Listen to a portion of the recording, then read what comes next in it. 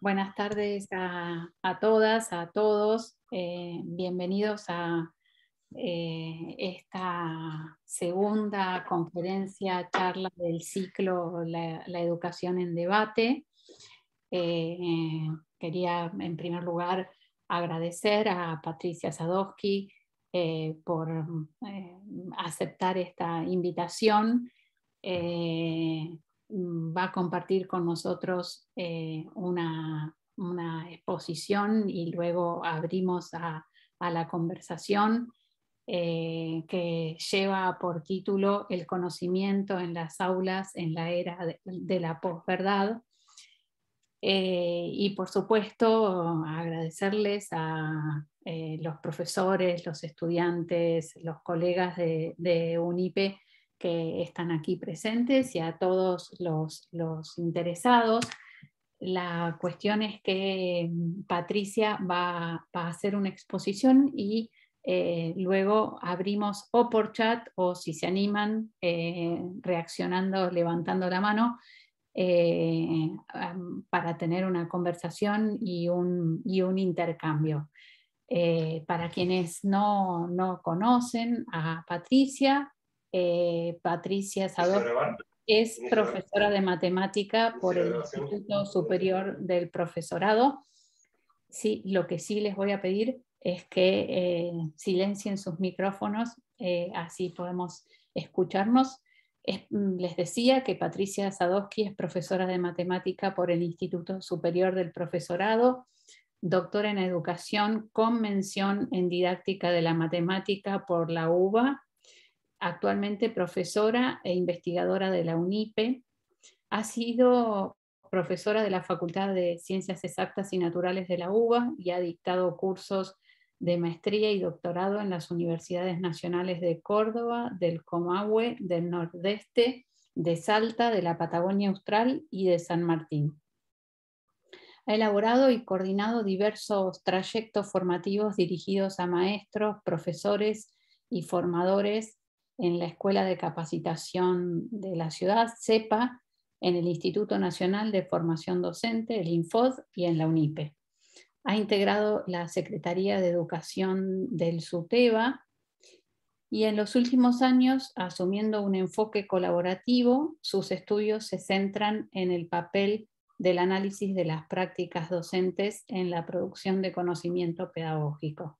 En la actualidad trabaja también en cuestiones del conocimiento en la escuela, algo de lo que va a compartir aquí con nosotros en el marco de un seminario que se desarrolla en la UNIPE y que coordina junto al profesor eh, Tono Castorina, que nos acompaña también aquí en la sala y a quien también le agradecemos eh, estar aquí con nosotros compartiendo este momento.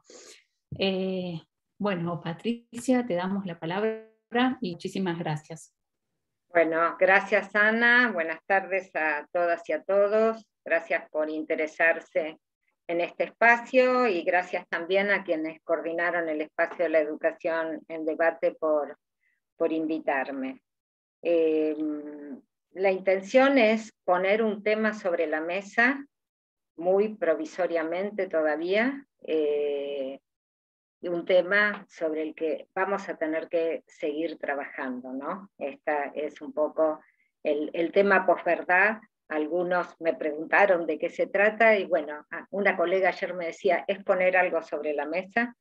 Eh, no soy una especialista en posverdad, no sé si alguien lo es, pero eh, sí hay quienes han reflexionado mucho sobre eso y nosotros lo tomamos como punto de partida para reflexionar este, sobre el conocimiento en la escuela. Voy a compartir, em, una, voy a compartir pantalla porque voy a ir pasando eh, un PowerPoint. Este, bien. ¿Se ve? ¿Está ahí? Bueno. Bueno, todos tenemos noticias de algo que se llama posverdad. ¿No es cierto? O sea, es un término que el diccionario de Oxford, esto lo señalan muchos de los que hablan de posverdad, eligió en el año 2016 como la palabra del año. Y la caracteriza como, o sea, define la posverdad como algo que denota circunstancias en las que los hechos objetivos son menos influyentes en la formación de la opinión pública que las apelaciones a las emociones y a las creencias personales. El diccionario de, la Real Academia también toma, eh, contiene la definición de posverdad y dice que es una distorsión deliberada eh, de una realidad que manipula creencias y emociones con el fin de influir en la opinión pública y en las actitudes sociales. Y agrega una cosita que daría para hablar, cosa que no vamos a hacer, este, pero que dice los demagogos son maestros de la posverdad, ¿no? Ahí está la impronta de la Real Academia y su carga ideológica, no vamos a hablar de eso, pero en ambas, lo que sí quiero marcar es que en ambas definiciones se hace referencia a la interferencia de las emociones y de las creencias personales en la interpretación de los hechos. Fíjense que el acento está puesto en que la posverdad implica una ruptura con los hechos, porque efectivamente vivimos en un tiempo en el que es posible afirmar hechos sin necesidad de verificarlos. Pero la lectura sobre este tema que hace Eric Sadin en la inteligencia artificial o el desafío del siglo, llama a pensar en una ruptura simultánea con la, con la ruptura con los hechos, que tiene una trascendencia mucho mayor y que este autor, Eric Sadem, define en términos de emergencia de un nuevo régimen de verdad. Según él, y de una manera bastante pesimista, entiendo, de alcance civilizatorio. Es frente a este tremendo llamado de atención que con tono Castorina, con quien, como dijo Ana, venimos reflexionando sobre el papel del conocimiento en la escuela, junto con, con otros colegas, nos detuvimos con más detalle en el análisis de Sadén para ponerlo en relación con nuestra problemática, dado que la relación con el conocimiento también es una relación con la verdad. Saben, plantea algunos rasgos que me interesa retener. El nuevo régimen de verdad, la emergencia de un nuevo régimen de verdad, contiene algunos preceptos, proviene en el campo de aplicación, en cada campo de aplicación de una fuente única, eliminando el principio de aprehensión plural de las cosas, se inscribe en una lógica de tiempo real, revelando estado de hechos en el mismo momento en que estos hechos tienen lugar sin tomar en consideración el tiempo específico del análisis humano, se le asigna un estatuto de autoridad deslegitimando toda pretensión de contradicción, se relaciona con un espíritu utilitarista que responde a objetivos de optimización y a intereses privados. Fuente única, tiempo, autoridad, utilitarismo, son términos que casi por contraposición remiten a un modo de entender la relación con el conocimiento, con la verdad en la escuela, tanto en las salas de clase como en los vínculos entre los docentes. Asimismo, este, eh, este autor, Eric Sadem, caracteriza distintos estadios en este régimen de verdad en el que el uso de las aplicaciones y algoritmos eh, elaborados bajo supuestos que son opacos para la mayoría, nos incita a ciertas prácticas en cuya eficacia confiamos, nos impone decisiones sobre grupos humanos, prescribe acciones incluso de un modo tiránico en algunos casos. Si reparamos en estos términos, incitación, imposición, en, la idea de verdad como incitación, como imposición, como prescripción o incluso como coerción, nos damos cuenta de que en este régimen de verdad está orientado a provocar el, el accionar de los grupos humanos en una posición de obediencia en la que la duda, la ambigüedad, la interpretación, la percepción plural de las cosas queda desplazada. Si bien a lo largo de la historia de nuestra cultura el estatuto de eso que llamamos construcción de la verdad se ha ido transformando y ha pasado por muy diversas instancias, incluso por la negación de la noción de verdad en los términos clásicos a través del grupo de filósofos llamados postmodernos, siempre ha sido objeto de una discusión de carácter colectivo y crítico que ha permitido construir en cada momento referencias comunes junto con la conciencia de que era una discusión no saldada, o sea, no, estaba cerrada. Es este carácter colectivo y crítico el que, según González Arrechea, otro autor que consultamos, que es un cubano, él dice que eh, eh, este carácter colectivo y crítico es el que se pone en cuestión en el régimen de la posverdad. En otros términos, la verdad se define a partir de cada persona que se considera con poder de acomodar los hechos a su propia visión, a sus creencias. Este autor también señala, en coincidencia con Sadem, que la posverdad implica no conocer cómo se conoce. Cómo se conoce, cómo se obtiene el conocimiento, cómo se produce el conocimiento. ¿Por qué, si nos ocupamos del conocimiento en la escuela, nos interesa la cuestión de la posverdad? Entendemos que la escuela es, o quisiéramos que fuera, el lugar en que las niñas y los niños, las los jóvenes tienen, tengan la oportunidad de conocer el mundo a través de las distintas manifestaciones de la producción cultural. Las ciencias, las artes, la tecnología, la filosofía, el deporte. Lo decimos hace mucho y lo vamos a seguir diciendo, no renunciamos a este sentido de la escuela que sabemos que está en disputa con otros. Y bajo este propósito, como dije recién, cuestiones como la construcción de referencias comunes, y en esto quiero hacer un eje importante, la necesidad de tiempo para que ello ocurra, el valor de lo colectivo, la consideración de una autoridad epistémica, son fundamentales y a la vez problemáticas en el sentido de que su conquista dentro del espacio escolar requiere condiciones que de nuestro punto de vista a la vez solicitan un trabajo investigativo adentro de las aulas con participación de docentes y directivos, lo cual a la vez es dependiente de condiciones que se habiliten desde las políticas públicas. Ahora bien, entendemos con Chevalar y también con muchísimos otros autores, que lo que se hace en la escuela tiene necesariamente una referencia afuera de ella. Chevalier dice, apenas podría la escuela cumplir su misión si estuviera débilmente sostenida por la sociedad. La escuela depende del cuerpo social y de sus valores. Y una de las cuestiones que pensamos es que el régimen de la posverdad, con todas sus implicancias, debilita el sostenimiento de la escuela. Se observa en múltiples manifestaciones en el espacio público.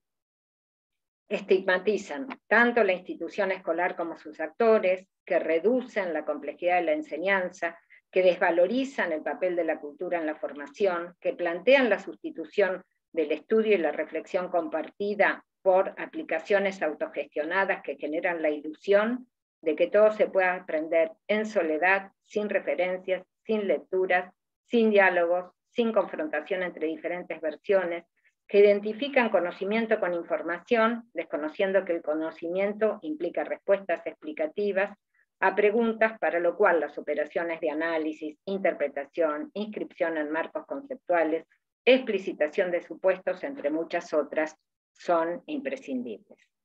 Esa es la razón por la que proponemos empezar a problematizar estas relaciones entre un modo de difundir conclusiones que se instala en la sociedad y las prácticas y saberes que aspiramos para la escuela.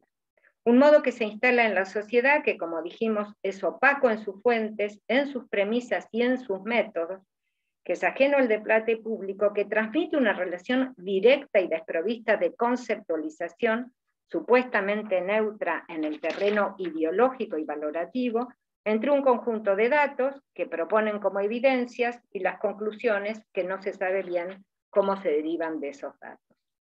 Lo que quiero proponerles, como les decía al principio, es una serie de reflexiones que contribuyan a pensar sobre el régimen del conocimiento en la escuela a partir de saber que esto existe en la sociedad y está, y está, está presente. Tiene un carácter, eh, las reflexiones que propongo, por supuesto, tienen un carácter provisorio, hipotético y de ser retomadas requerirían mucha elaboración y retrabajo.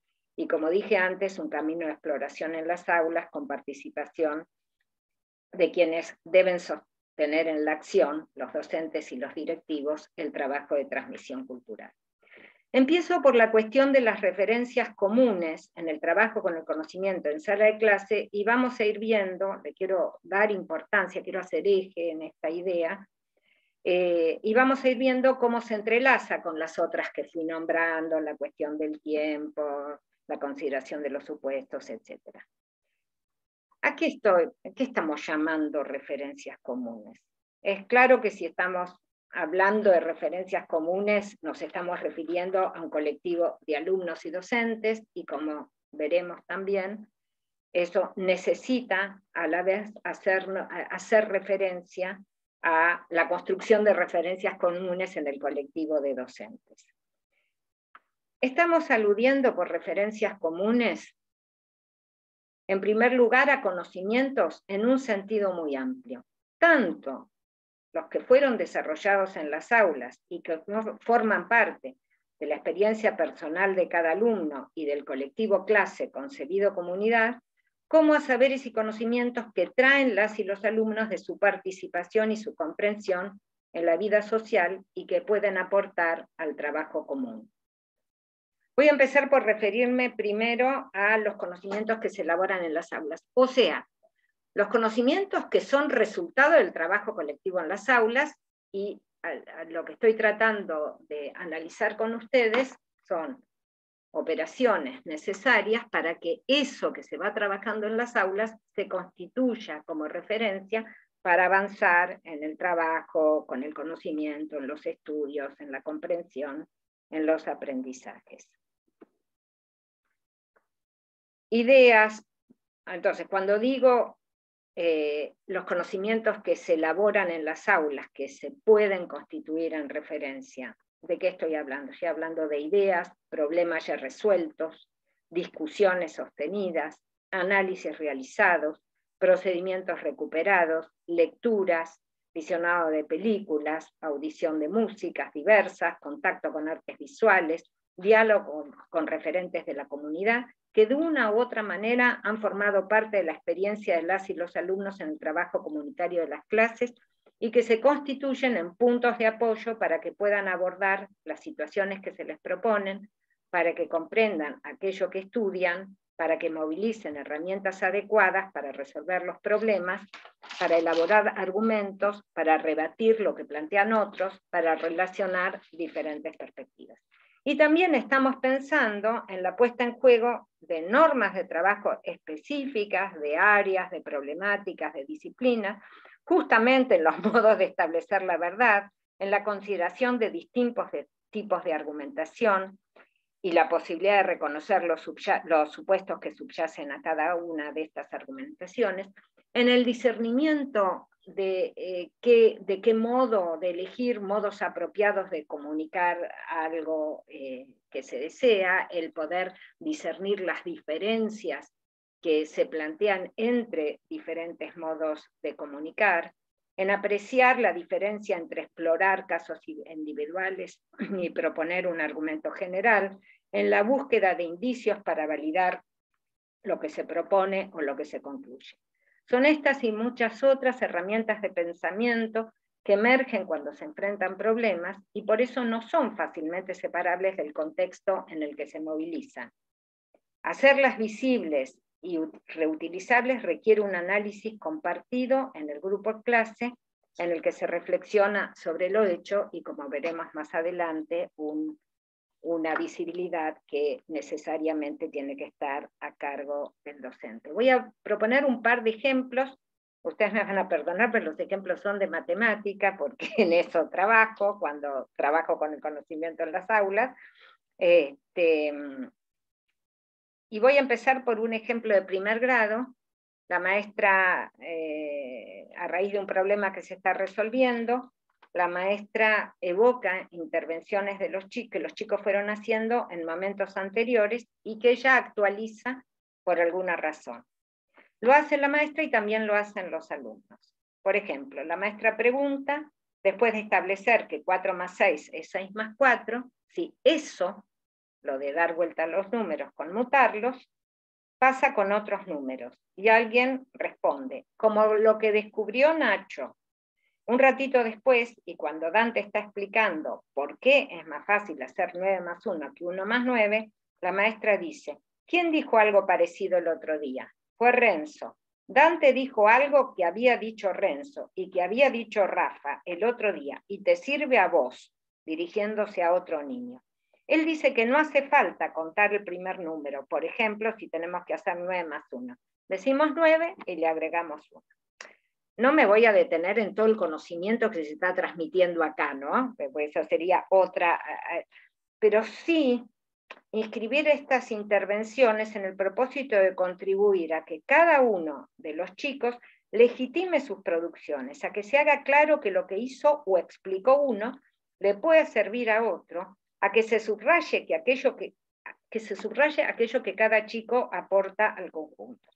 Y esto va configurando una historia común en la que cada alumno puede encontrar un lugar con relación al conocimiento. Esta relación entre lo que se elabora colectivamente y el aporte de cada niño parece fundamental para que todos los chicos vayan asumiendo su propio proyecto de aprendizaje al hacerse claro que tienen un lugar en esta historia.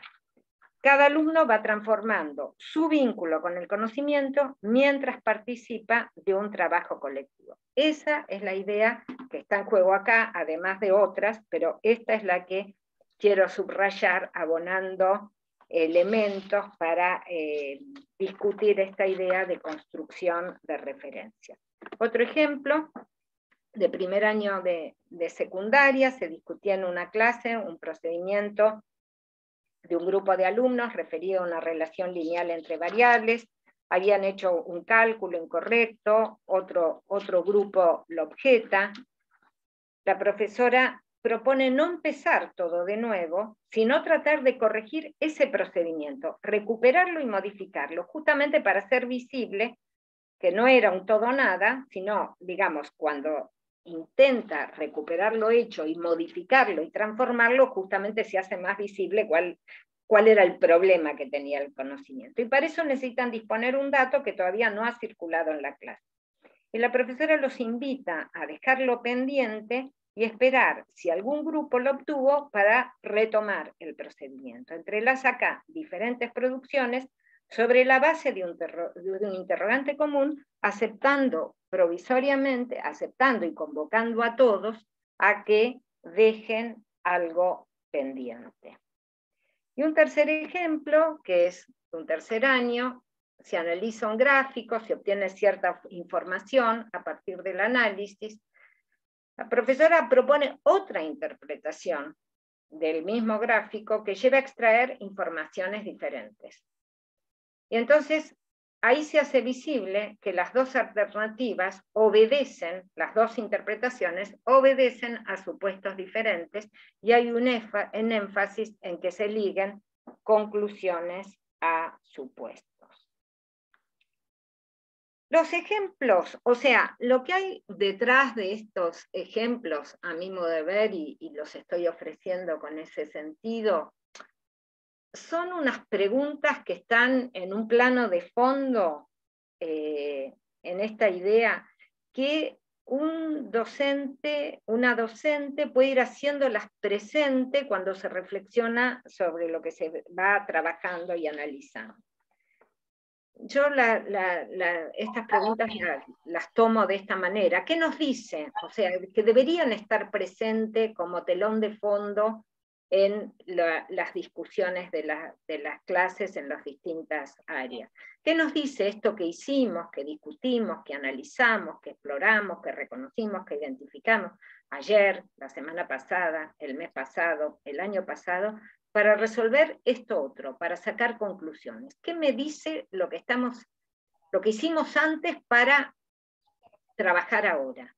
¿En qué sentido esto que hacemos ahora es totalmente diferente de lo que hicimos la semana pasada, el mes pasado? O sea, ¿qué cambió ahora? ¿Qué nuevo? ¿Qué novedades hay? ¿Qué me aporta? ¿Sobre qué base obtengo esta información? ¿No es cierto? O sea, la idea de ligar conclusiones con hipótesis y supuestos, ¿no? Y ahora entiendo eso que no entendí aquella vez que hicimos tal cosa, que remite a una idea donde se pudo avanzar con agujeros, se pudo avanzar dejando algo pendiente, que va a ser saldado con un nuevo aporte de trabajo eh, en clase a raíz de alguna cuestión. Eh, la movilización de ideas y herramientas de pensamiento a raíz de la experiencia transcurrida para estudiar, interpretar, pensar, abordar, explorar lo que se propone en un cierto momento, requiere una disposición que no podemos considerar dada, sino que se construye como resultado de una práctica en la que ineludiblemente está presente la intención de la o el maestro, de la o el profesor, en ese sentido, concebimos al docente como un portador de una memoria colectiva que invita a evocar, o evoca el mismo, acciones, discusiones, problemas, procedimientos, que se han puesto en juego en otras situaciones y que pueden contribuir a pensar el momento presente. Evocaciones que pueden estar apoyadas en algún registro de la actividad de la clase, accesible a todos y a todas, Ahí podemos pensar en blogs, documentos compartidos, aulas virtuales, pero también podemos pensar en carteles en el aula, como se suele ver en, las aulas de primaria, en cuadernos personales en los que se registran conclusiones o dudas. Pensamos que este, este registro, estos registros, y esto es un supuesto a explorar, pueden contribuir a generar buenas condiciones para la recuperación personal y colectiva a raíz de lo que se va trabajando. En esto pensamos cuando hablamos de construir referencias comunes. Mencioné antes, cuando empecé a hablar de la construcción de referencias comunes, la incorporación de los aportes de las que las y los estudiantes pueden hacer como resultado de sus experiencias en la vida social fuera de la escuela. Efectivamente, las y los estudiantes desarrollan prácticas culturales, hacen deportes en barrios, en clubes, interactúan con sus familias, participan en grupos juveniles con diferentes propósitos y elaboran ideas sobre la sociedad y sus problemas que a veces resultan contradictorias o, versiones distintas de lo que la escuela transmite. ¿Es posible desconocerlas si queremos un genuino encuentro de los jóvenes con el conocimiento del mundo, entendido este como construcción colectiva, hipotética y sujeta, por lo tanto, a revisión. Hemos discutido esta cuestión a raíz de la pandemia en el seminario, que ya nombramos varias veces, sobre el conocimiento en las aulas, ¿no? este que nombramos que coordinamos con Tono, y en el que participan colegas de diferentes instituciones y disciplinas. En el año 2020, con estos colegas, discutimos la posibilidad de eh, trabajar eh, la idea del conocimiento en la escuela, produjimos un pequeño documento, acá están los colegas que participaron, no los voy a leer, pero están y van a quedar registrados. Y, eh, digamos, mm, ahí digamos, nos preguntamos por las condiciones que harían posible traer, tratar en la escuela aspectos referidos a la pandemia en sus múltiples dimensiones. Y específicamente nos inquietaba cómo construir una perspectiva común en las escuelas y al mismo tiempo dar lugar a la diversidad de miradas y experiencias que se habían puesto en juego en ese momento. Había ahí un acontecimiento de amplia significación social, decíamos en el documento, y nos preguntamos cómo dar lugar a que se expresen las diferentes versiones, cómo retomar la idea de que se difundan por los, perdón, cómo retomar las ideas que se difundían por los medios y que se contraponían a las que provenían de los centros de investigación, a los centros que investigaban en ese momento el comportamiento del virus. Cómo dar al mismo tiempo lugar a los resultados parciales de la ciencia y a las visiones alternativas que los negaban. Asumíamos, asumíamos que esa diversidad de saberes y fuentes exigía tomarlas en cuenta para no correr el riesgo de excluir de la consideración de una visión compartida a algunos estudiantes y sus familias y algunos docentes también. Entendimos en ese momento que era necesario promover espacios en los que las controversias pudieran expresarse en un marco argumentativo que permitiera arribar a consensos y poner en cuestión las ideas infundadas, incluso nocivas, como todos recordarán, por ejemplo, la de tomar la bandina para curarse del virus. ¿Por qué traigo este ejemplo? Porque en, esta en esa situación dramática, si, se asumía discutir la cuestión para arribar a una visión compartida, era imprescindible incluir de entrada todos los puntos de vista. Esto pone una lupa sobre una cuestión siempre presente, la perspectiva de algunos alumnas y alumnos muchas veces puede estar en tensión o en contraposición con la que transmite la escuela sobre diversos asuntos. Tomarlas en cuenta y encontrar un modo de incluirlas en la discusión a través de argumentos es también profundizar el sentido de los conocimientos que se elaboran. Desde ese punto de vista, la discusión sobre la verdad en la clase, incluso sobre la verdad de las creencias, comporta la disposición a transformar la propia mirada como resultado del trabajo compartido. Y en esa dirección, la disposición a renunciar a la propia verdad, acá también aparece un contraste con el régimen de la posverdad, en el que las personas adaptan las interpretaciones de los hechos a sus creencias previas sin posibilidad de transformación. La idea de construir referencias comunes, en el sentido que acabo de plantear, se apoya en una concepción según la cual se conoce con y contra lo que ya se sabe, lo que se cree, lo que se intuye. Cuando decimos que se conoce, bueno, expliqué un poco por qué se conoce con. Cuando decimos que se conoce contra lo que se sabe, no solo estamos hablando de las controversias que puedan establecerse entre versiones de un mismo asunto. También la comprensión de algunas situaciones exige romper con la experiencia elaborada en el marco del estudio. ¿no? Este, esto en matemática es bastante frecuente. Cuando se pasa, por ejemplo, de la aritmética al álgebra, cuando se pasa de eh, estudio con números naturales al estudio con números racionales, se producen rupturas sustantivas en el régimen del conocimiento y esa idea es necesario visibilizarla y es el docente, la docente quien tiene conciencia de esa ruptura y, eh, y, está llamado a pensar un modo de ponerla eh, en juego en el trabajo con el conocimiento. Em, Acá estamos haciendo referencia a la noción de obstáculo epistemológico de Gastón Bachelard, que Gastón Bachelard desarrolla en La formación del espíritu científico, un, libro que ha sido referencia para muchísimos de nosotros, es un libro del año 48, y que Brousseau eh, retoma la idea de obstáculo epistemológico para el campo de la didáctica de la matemática para reinterpretar justamente lo que se consideran errores. Brousseau plantea el error no es solamente el efecto de la ignorancia, la incertidumbre, sino es el efecto de un conocimiento anterior que a pesar de su interés o éxito ahora se refleja falso o simplemente inadecuado.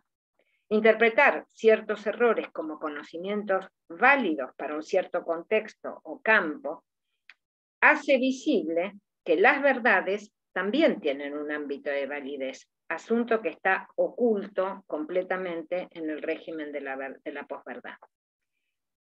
Mm, digamos, tal vez pueda resultar productivo retomar la noción de obstáculo epistemológico para el análisis de otros conocimientos, aún sabiendo, creo que en ciencias naturales también se toma, aún sabiendo que el alumno no es solo un sujeto epistémico, es también un sujeto social, psicológico, empírico. Hace un ratito hablé del docente como portador de una memoria colectiva de la clase. Ahí hay una función de transmisión que quiero subrayar y ampliar. Distintos autores, muchos, traigo Gochet, que hay un libro en la UNIPE publicado, Bonnery, que es un autor que trabajamos en el seminario, francés, Gerdiesta, un holandés, coinciden en señalar un cierto retiro de la función de enseñanza que parece reducida a facilitar los aprendizajes en el marco de las prácticas escolares. Esto también lo venimos escuchando en los distintos embates que denostan la escuela, el alumno en el centro, el docente al costado facilitando. Yo no me voy a detener en las razones de esta mutación o reducción, creo que son las dos cosas, es una reducción y una mutación de la función docente. Es un proceso de larga data, de carácter social y de escala internacional, por lo menos en el mundo occidental. De hecho, Gauchet, Bonnery y Gerbiesta son los tres europeos y hablan de esto. Pero en, en nuestros vínculos con los docentes, en el marco de trabajo colaborativo, eh, esto, este retiro, este temor a explicar, eh, se expresaba de diferentes maneras.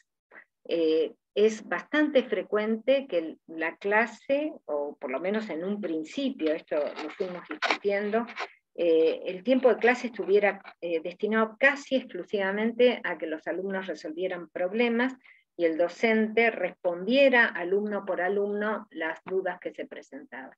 O sea, muy escasos momentos de retomar, de discutir, de vincular distintos procedimientos o plantear debates a raíz de lo que se hacía. Eh, siempre con temor a intervenir demasiado. Ese era un temor que maestras y maestros nos expresaban todo el tiempo y suponían además que nosotros los íbamos a juzgar si ellos intervenían demasiado. O considerar directamente ilegítimo dar una respuesta, aunque la misma se refiriera a una información que los chicos no podían obtener de, otra manera esto, esto se lo tuve que decir y era como una resignación, ¿no? como algo en baja. Pero también el no prestar mucha atención al proceso que van realizando los alumnos mientras resuelven, como ensayan las dudas que tienen, las preguntas que hacen, y sentarse en el producto final como si conocer esas elaboraciones intermedias no fuera relevante para que la maestra, el maestro, elabore explicaciones para sus alumnos que tomen en cuenta esos procesos. Esa timidez o incluso esa deslegitimación de brindar respuestas a las preguntas de las y los alumnos parece desconocer que la formulación de una pregunta por parte del alumno en general también supone una elaboración y está basada en ciertos supuestos para el estudiante, a partir del cual, eh, es decir, la interpretación de esos supuestos y la interpretación del conocimiento detrás de la pregunta, genera, pueden ser retomados por el docente y generar una interacción productiva. Si acordamos, y como ya este, lo, lo, dijimos varias veces, con que un sentido estructurante de la escuela es poner a las jóvenes generaciones en contacto con la producción cultural, esto implica, en primer lugar, dar a conocer las obras de la cultura, comunicar, transmitir, no solo conceptos, relatos, explicaciones, sino también reglas restrictivas para elaborar dentro de un marco conceptual, junto con la vigilancia acerca del alcance de las ideas que se elaboran y el análisis de los mecanismos bajo los cuales emerge una noción, un concepto, una idea o una resolución. Es decir, reflexionar cómo se conoce. En esta perspectiva, esta perspectiva de transmisión de enseñanza, de explicación, de intervención docente, se aleja de la visión según la cual maestros y profesores reproducen un discurso sin poner sus marcas propias, sin poder mostrar la relación entre las ideas que comunica y los problemas en el marco de los cuales se elaboran, sin construir y jugar en definitiva su propia y necesaria autoridad epistémica en los intercambios con los alumnos. En otros términos, se aleja de un modo expositivo que caracterizó el funcionamiento del conocimiento en la escuela.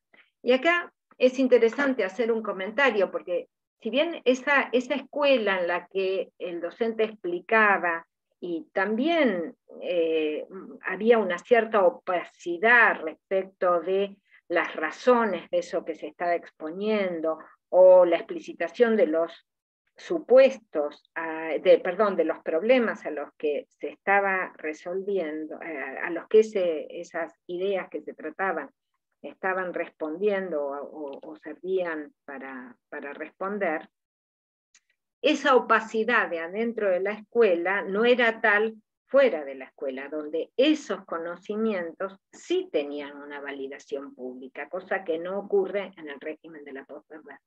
marcar una diferencia porque no es lo mismo no acceder a unas razones sabiendo que esas razones existen públicamente que no acceder a unas razones y que no, no existan públicamente, digamos, que estén totalmente opacas.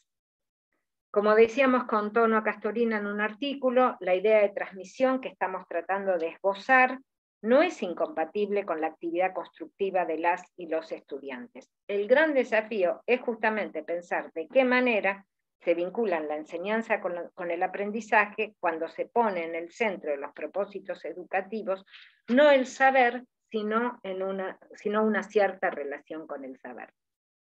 Acá lo traigo a Charlotte, que es uno de los autores. La, noción de relación con el saber se trabaja desde distintas disciplinas.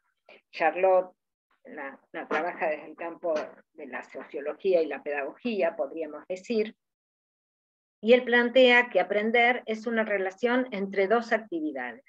La actividad humana, que produjo aquello que se debe aprender, y la actividad en la cual el sujeto que aprende se compromete, siendo la mediación entre ambos asegurada por la actividad del que enseña o forma. Este desafío, o sea, el docente no está, en el, no está en el costadito facilitando, ¿no? Es decir, es un mediador que tiene todo el tiempo presente su propia relación con el saber, la complejidad del objeto que quiere transmitir y la perspectiva de los alumnos, ¿no? Como para eh, establecer ese, ese lazo. Este desafío nos interroga respecto a cuáles son las referencias para que las y los docentes puedan pensar su trabajo desde esta perspectiva. Y acá yo les había dicho, la idea de construcción de referencias remite a un colectivo de alumnos y docentes, pero necesariamente tiene que remitir a un colectivo de docentes. Desde nuestro punto de vista, esta es una tarea ineludiblemente colectiva y colaborativa. También los docentes necesitan un trabajo compartido para construir sus referencias. Discutir en la institución los problemas de enseñanza, compartirlos, analizarlos sobre la base de su propia relación con los saberes a transmitir y simultáneamente sobre la reflexión acerca del desarrollo de sus propias clases, cuáles son los sentidos en juego para las y los alumnos, cuáles son los supuestos que subyacen a las intervenciones de los chicos, cuáles son las relaciones entre diferentes alumnos en términos de relaciones con el saber, cómo se sostiene la unidad clase y al mismo tiempo la perspectiva de cada alumno en un mismo proyecto, por nombrar algunos, solo algunos problemas. Estas conversaciones, voy a cortar un poquito para que quede un tiempo de charla. Estas conversaciones de carácter colectivo exigen tener una relación de confianza entre los pares que lejos de ser inmediata, se va alcanzando con el tiempo sobre la base de un punto de partida común, que es el de resolver en conjunto los problemas que se van enfrentando durante la enseñanza. En nuestra experiencia de trabajo con maestros, o sea, la construcción de confianza no es inmediata, ¿no? Hay un, punto de partida común, pero no es inmediata. Y nos pasaba en nuestra experiencia de trabajo con maestros que al principio, cuando se expresaban posiciones distintas frente a un hecho de las clases, más bien se evitaba la discusión. Y el asunto se trataba de resolver, bueno, cada uno tiene su modo, yo lo pienso así, vos lo pensás así. Eludir la discusión, las razones que sostienen cada posición, no deja ver que justamente en el desarrollo de una conversación a partir de, de los desacuerdos, en el marco de una discusión fundamentada, se pueden elaborar referencias comunes acerca del proyecto educativo no porque como resultado de la discusión deba arribarse a una posición única, sino porque en su devenir se hacen explícitos los supuestos de las decisiones tomadas, de las perspectivas, se intercambian conocimientos que enriquecen los marcos de análisis que se van a elaborar. Así concebimos el trabajo colaborativo como una práctica cuyas reglas de funcionamiento son producidas y transformadas en el marco mismo de la colaboración y cuya finalidad es el análisis compartido de la enseñanza. Para ilustrar un ejemplo de cómo estamos entendiendo la cuestión de las referencias comunes, quiero recortar de nuestro trabajo de investigación, eh, que, ya nombré, donde indagamos el tipo de producción que se realiza en el marco de trabajo colaborativo con maestros en el área de matemática, que desarrollamos con María Mónica Becerril, Patricia García, Paula Pérez y María Emilia Cuaranta, tomo un ejemplo con un grupo con el que trabajamos durante cuatro años. Al recorrer las reuniones de este grupo, se reconoce claramente la cuestión del progreso en los aprendizajes de los alumnos como el núcleo problemático a partir del cual se fueron organizando las discusiones. En ese contexto, y ya en el tercer año de trabajo, el grupo trae a la mesa el ejemplo de un niño de tercer año, lo llamaremos B, que era de los que no podían, el de los que presentaban su hoja en blanco y de repente da cuenta de elaboraciones pertinentes que implican el establecimiento de relaciones complejas. ¿Qué pasó?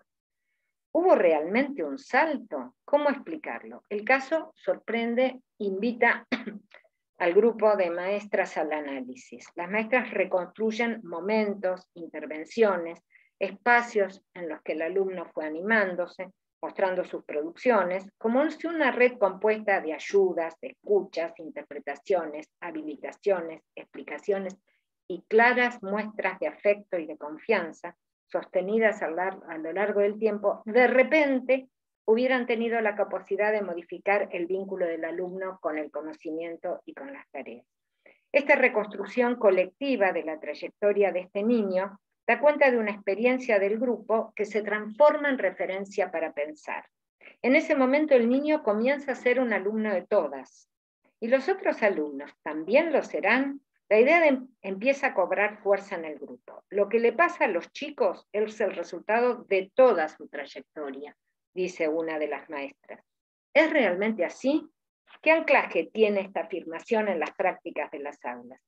La pregunta ubica el problema del progreso de las y los alumnos en un plano de responsabilidad colectiva y toca simultáneamente tres dimensiones, los recorridos de enseñanza, las trayectorias de aprendizaje de las y los estudiantes y los acuerdos institucionales que tejen la trama entre unas y otras.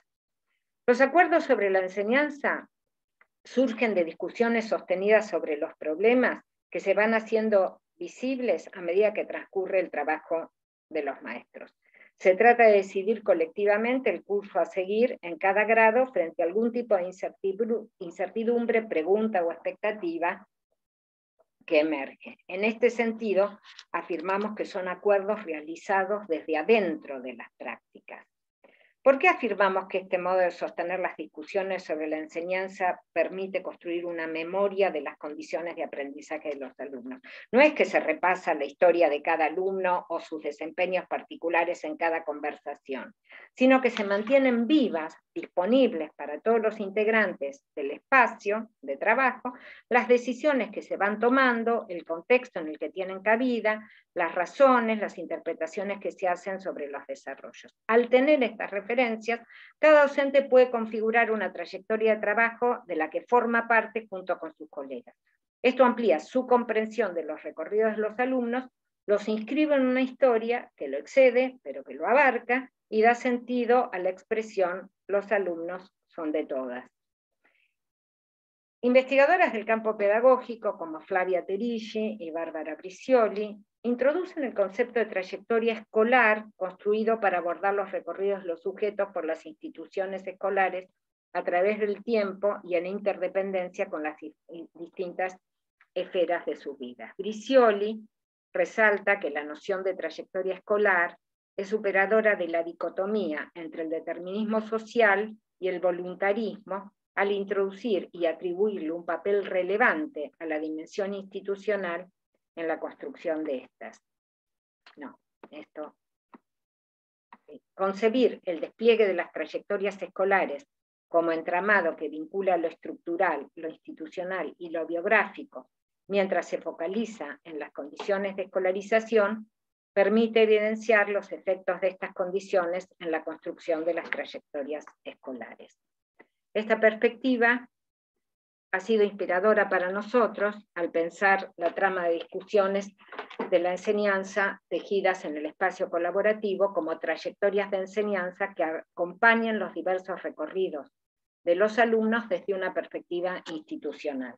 En la medida en que habilita un margen de maniobra para algunos de los condicionamientos del dispositivo escolar, la idea de trayectoria enseñanza aporta elementos, nosotros lo pensamos así, para avanzar hacia la superación de la dicotomía señalada por Bricioli entre el determinismo, que construye sus explicaciones basándose casi completamente en los condicionamientos del dispositivo escolar, y el voluntarismo, que atribuye un papel a la intención de los sujetos, pero parece desconocer las imposiciones del sistema de enseñanza. Esta afirmación es de carácter conjetural y obviamente requiere ser estudiada. Cierro. Intenté ofrecer algunos elementos para reflexionar sobre el régimen del conocimiento de la relación con la verdad que podríamos repensar para la escuela. Quise ofrecer ideas para la elaboración de referencias comunes como organizadoras de un régimen basado en la discusión, el consenso entre distintos puntos de vista, el carácter conjetural de las, de las elaboraciones, siempre sujetas a revisión, y la ineludible referencia a las producciones culturales de afuera de la escuela como modo de validación. Quise situar también la centralidad de la enseñanza como sostenedora del trabajo con el conocimiento. No tengo la ilusión de que esto pueda detener el avance de la posverdad en la sociedad. No, no, no, no soy tan ingenua ya. Este, pero sí creo que un modo de repensar el conocimiento de la escuela como parte de la agenda, que es, es parte de una agenda que la puede vitalizar y tal vez defender de los embates a los que está expuesta. Bueno, me quedo por acá y creo que un poquito de, tiempo de preguntas nos queda. Eh, me gustaría que tomen la palabra. No sé si hay. Sí, por favor, en forma de en el chat o levantando la mano como gusten.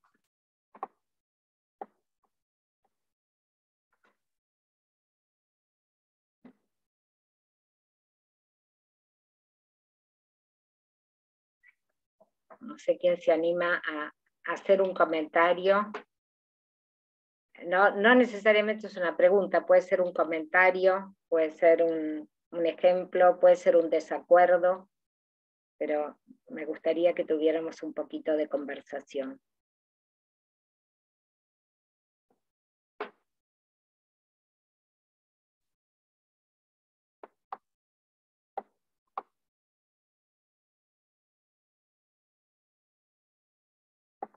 Eh, mientras eh, aprovecho para eh, traer un asunto mientras eh, esperamos que aparezcan otras, otras preguntas, pero quería preguntarte, Patricia, sobre em, eh, cómo ves vos mm, ahí en la construcción de referencias comunes centradas en el conocimiento, cuestiones de carácter también afectivo, de la confianza, si podrías desplegar un poquito eso que hace a la construcción de los vínculos entre los chicos y el docente, entre los chicos y entre sí, y que eso hace posible eh, una, como, bueno, una inscripción mucho más amplia, ¿no? Eh, ¿Cómo ves esa dimensión?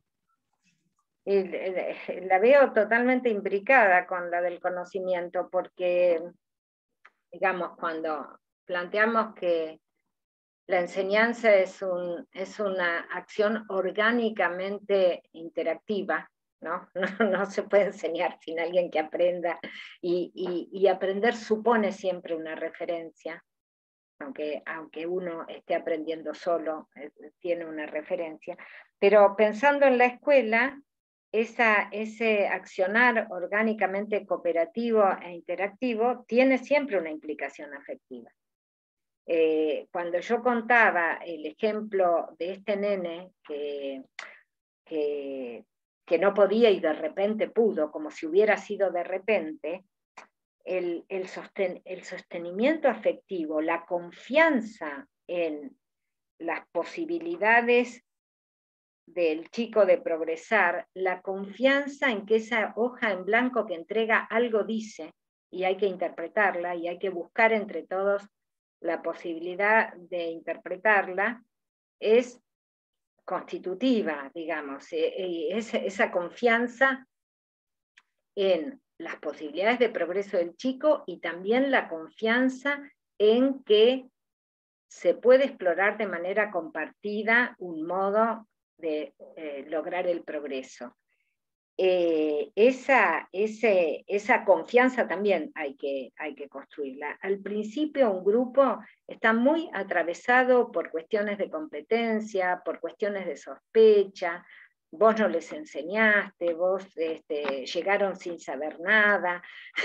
Ese tipo de cosas que suelen pasar en las escuelas requieren, eh, digamos, se van, em, se van superando, diría yo, o transformando em, en la medida en que el docente, la docente, el maestro, la maestra, el profesor pueden cambiar de posición y pueden asumir, aún desde la posición de enseñanza, una posición investigativa en el sentido de que la enseñanza también está, está sujeta a hipótesis.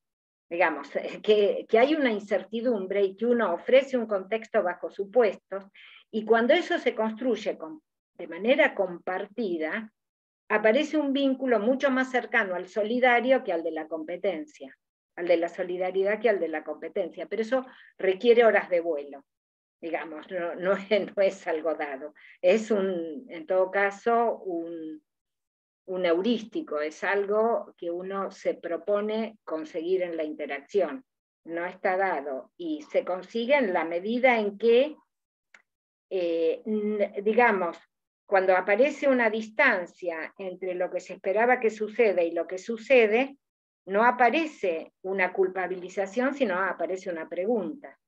Ahí, ¿no? O sea, una pregunta que se dirime entre todos. Esto con relación a los intercambios entre los docentes y con relación a los intercambios entre los chicos, un poco eh, lo que te diría es que la interacción tiene eh, un compromiso en la sensibilidad del otro, si no, no, no, no, no, puede suceder, creo. No sé si, es, si ibas por ahí con la pregunta. Sí, sí, iba, iba por ahí, iba por el lado de, recorrer ese, esa, esa dimensión eh, y fortalecerla e imbricarla Mm, sí, es, imbricada, es imbricada. Este, porque además, digamos, eh, los docentes se ponen, eh, es, es algo muy satisfactorio cuando un chico progresa gracias a la intervención y es algo muy desgastante cuando no ocurre. entonces, eh, eh, la posibilidad de eh, asumir que esta responsabilidad es institucional, que estoy con los otros en este baile y que entre todos construimos posibles respuestas y aunque no funcionen, las retomaremos para que en algún momento funcionen, eso es un posicionamiento muy distinto que el concebirse como alguien responsable de un, de un resultado que está predeterminado. ¿no? O sea, no, no, no, tiene nada que ver la concepción del sujeto maestro que se está pensando. Este, Patricia, eh, Vale dice, no tengo preguntas, pero quisiera comentar que me pareció muy pertinente todo lo expuesto sobre el término posverdad, que es riquísimo y podríamos hablar al respecto muchísimo tiempo y tocar miles de temas y áreas que lo atraviesan. También creo que lo afectivo es sumamente importante, el hecho de atender que nuestros alumnos son sujetos, alumnas son sujetos activos socialmente, no solo sujetos epistémicos, como dijiste anteriormente. Noelia pregunta, ¿desde qué tipo de organización se constituyeron los actos de colaboración entre pares? Y dice, porque en las instituciones no se habilita el intercambio entre pares de manera sostenida en el tiempo.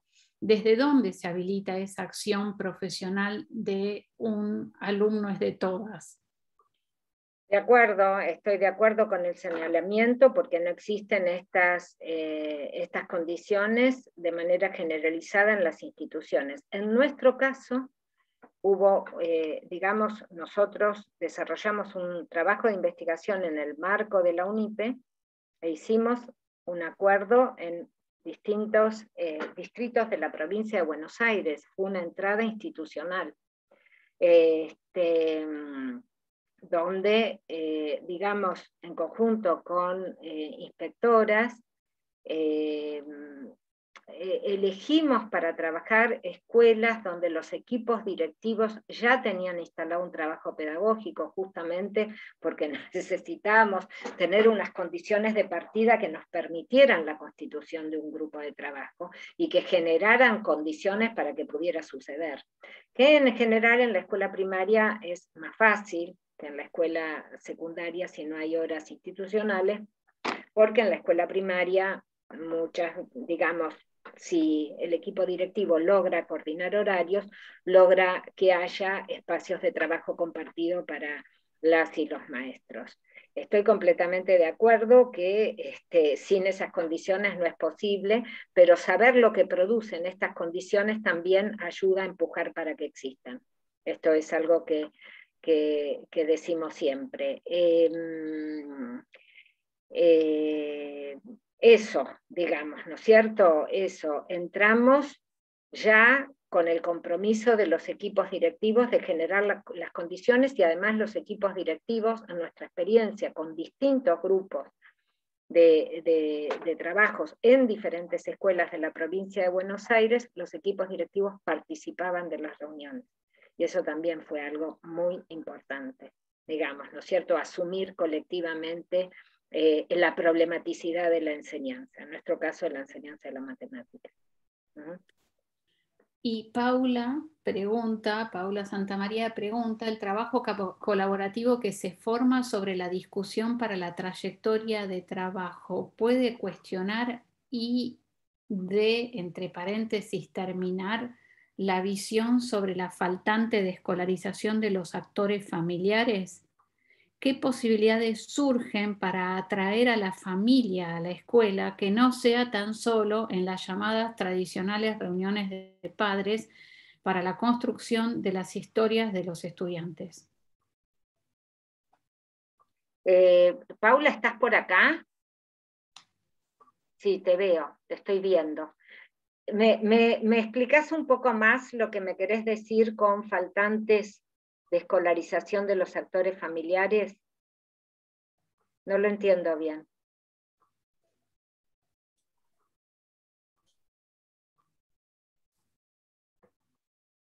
Mm, ah, no tiene audio. Espera, perdón, perdón.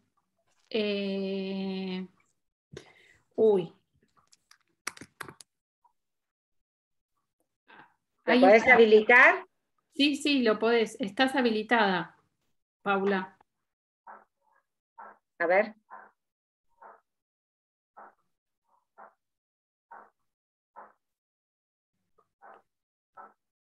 No. ¿No? Yo la tengo habilitada. Eh, está, escribiendo algo, algo está escribiendo.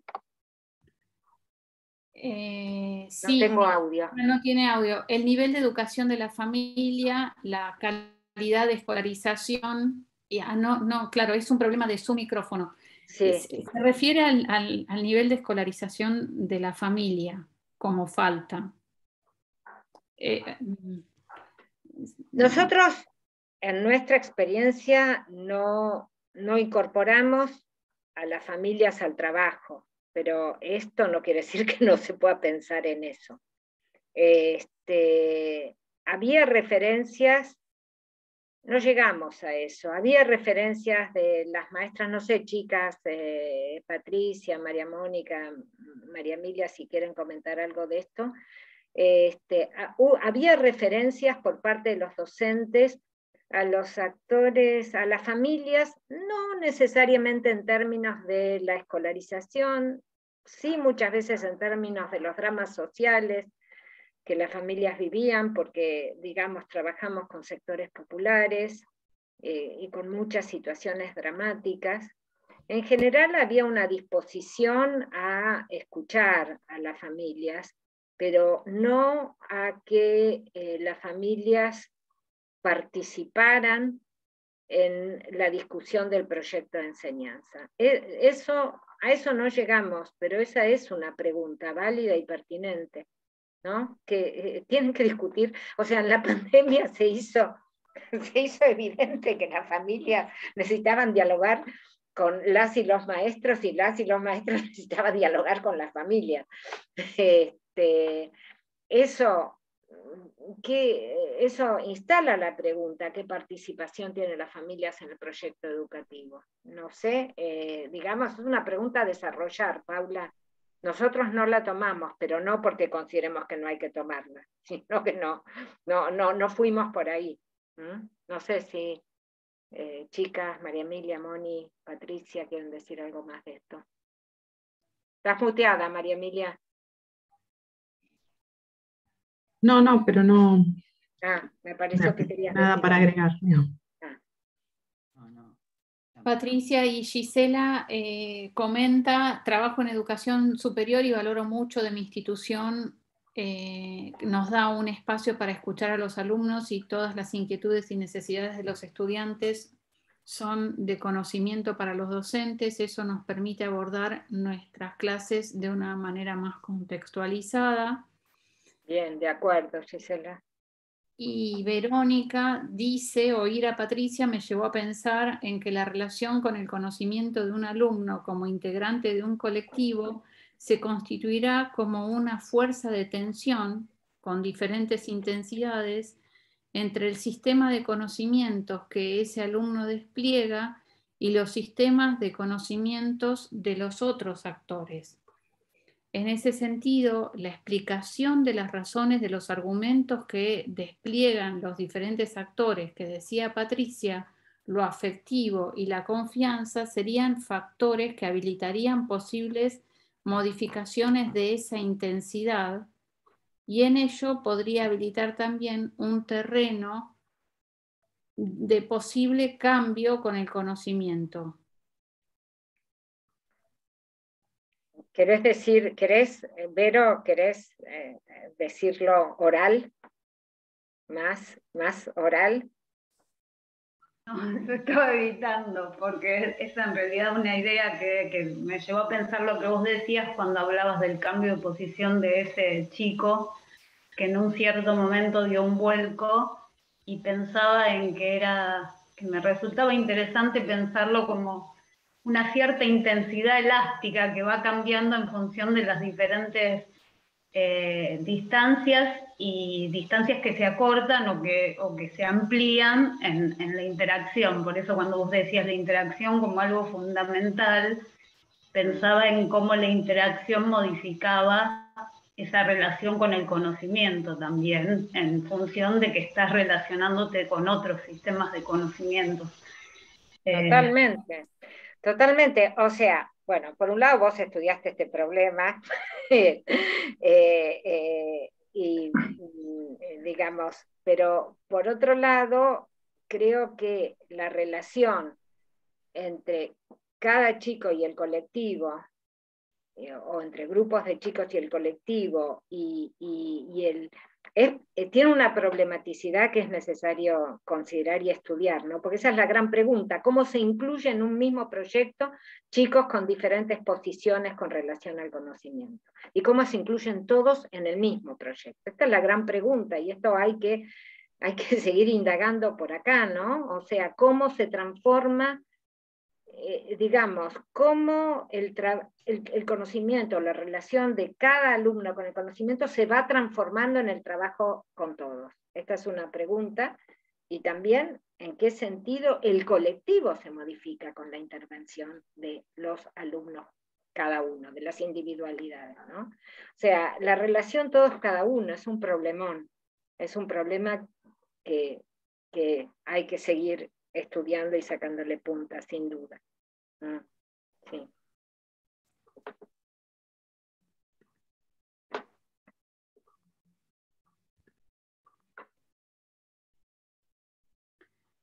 bueno, ahora no tengo, eh, no tenemos más preguntas en el chat y creo que no veo eh, ninguna mano levantada. No sé si alguien quiere agregar algo más Pato. Eh, no, no, me, resultaron muy interesantes las cosas que, plantearon, me las llevo. Este, y nada, por mi parte, agradecer, agradecerles que estén y, que ojalá que haya podido entrar en diálogo con cosas de ustedes que están pensando. Sí, de mi parte, sin duda. O sea, desplegaste toda una articulación de, conceptos eh, eh, y, bueno, eh, plantear la cuestión de las referencias comunes, de la construcción de lo común a lo largo de, la trayectoria, de las trayectorias educativas, es todo un asunto. Ah, desplegas un montón de cuestiones que quedan este, para seguir investigando lo de todos y cada uno mm, como ejemplo. En fin, hay muchas cosas eh, para, para, seguir trabajando. Así que este, esperamos eh, tenerte en otra, eh, en otra la, la, cuestión de, de, la construcción de referencias en el marco de una práctica. Este es, este es el, esta es mi síntesis digamos, ¿no? Es decir, eh, eh, como, como modo de entablar un vínculo con, con el conocimiento y con la verdad, que defienda la escuela. La, la posverdad está ahí y avanza. No podemos hacer con eso, me parece, pero sí podemos plantear un modo diferente para la escuela que la, que la vitalice.